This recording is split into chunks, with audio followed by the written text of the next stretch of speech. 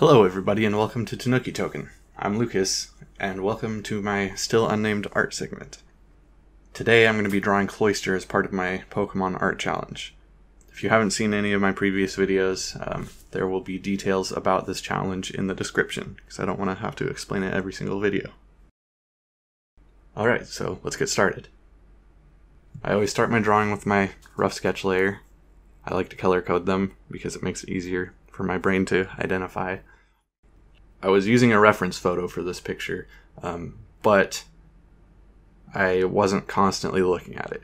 So I looked at it once, and then I did the rest of the rough sketch from my memory of having just looked at it. And part of that is because I don't want to restrict my drawing to be completely identical to um, the the reference. It's very similar, but because I, I try to stylize the drawing, I don't want it to, you know, like I said, be restricted by that um, reference that I'm trying to recreate. And I think I did okay, but there are a couple of things I did wrong here with Cloyster's design, and I will fix them in this next step. Um, but not at first, because I didn't realize it yet. On this layer, I like to uh, kind of solidify my lines a little bit, but it's still like a rough um, cleanup. So my lines don't have to be perfect yet, but I'm just getting a better idea of what I want my final drawing to look like. You can see here I keep going in and kind of like adjusting things, and I'm not directly copying all of my original lines. You know, I'm making like little subtle changes here and there because, you know, the rough sketch is rough. I don't want it to look exactly like my rough, you know.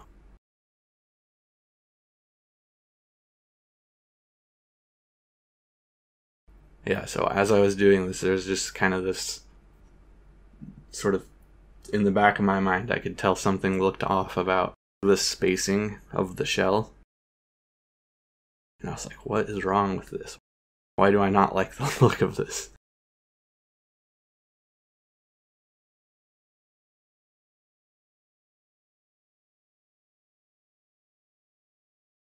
And so it was basically after this point, I looked back at the reference photo. Um, and I decided to make some adjustments, which are still messy and rough.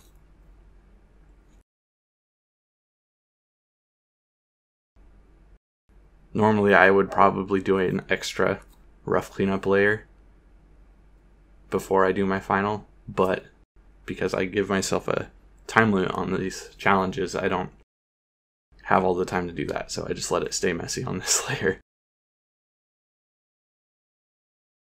Now here I am on my final layer when I'm using my uh, my different brush to get this kind of like you know Japanese sort of inked look, which I think looks kind of cool.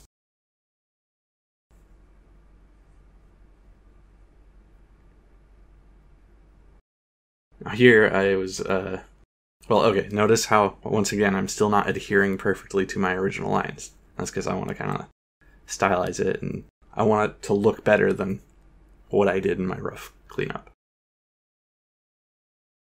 Yeah, I had to fix the spacing there because it just didn't look right to me, so I redid that part.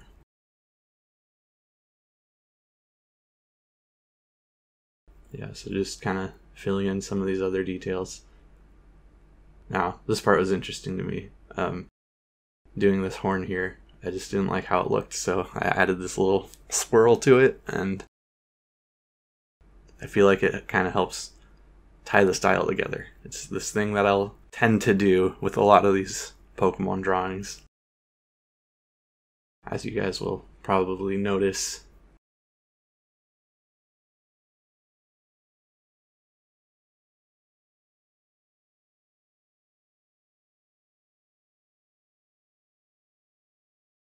Just kind of trying to get that to look right.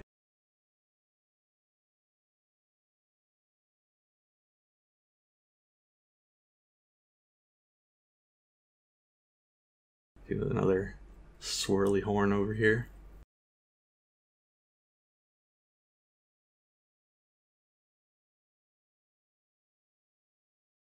Yeah, I think this uh, outline turned out pretty good, considering my time limits and stuff. I was happy with it. So yeah, now I'm coloring it in, and as you can see, I went over it multiple times to kind of darken that color, sort of solidify it more because the brush that I used to color this in is actually transparent.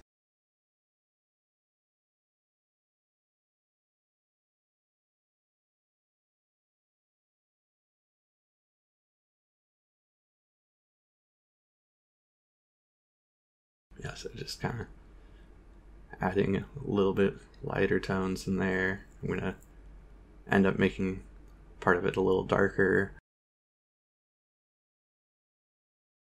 Just cleaning up some of my mess first.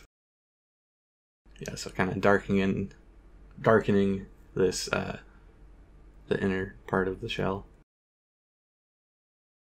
And I'm gonna move on to coloring the outer shell. The coloring part with, with this one was actually pretty simple, I think. Pretty straightforward. But it was fun to do. I enjoyed it. Yep, just cleaning up my mess again.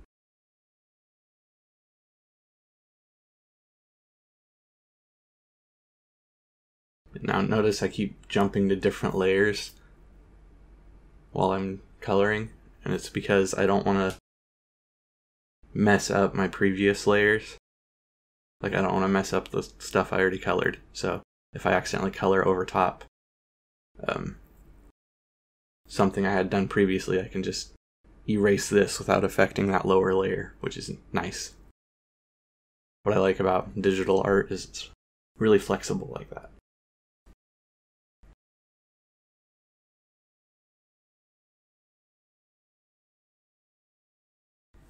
Now to just fill in the last couple of details. Then I can wrap up this picture.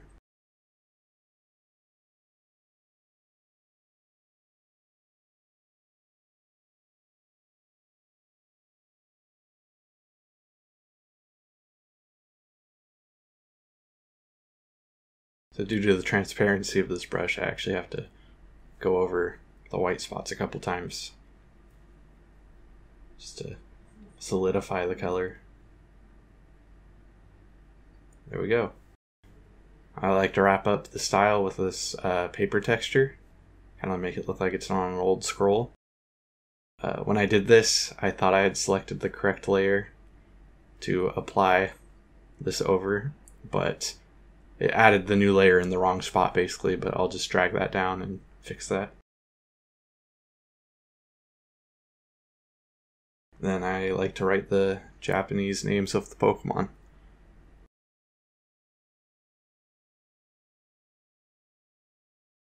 So, Cloyster's name in Japanese is Parushen. Um, it's possibly a combination of pearl and shell. Um, that's at least what the internet seems to think. Uh, I'm not entirely sure because it ends with an N sound. So maybe there's something else going on there, like some sort of pun or something, but I don't know. I don't really get it.